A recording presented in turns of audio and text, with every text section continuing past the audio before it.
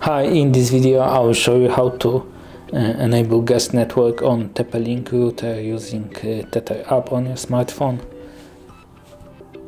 On the app home screen when you are logged to your device and properly connected, uh, just tap on the guest network, go to the guest network page, toggle that switch, okay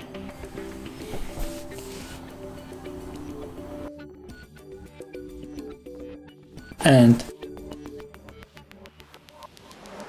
and the tab on the I'm connected and the guest network is enabled. Thank you for watching. If you like this video, subscribe to our channel and give us a like.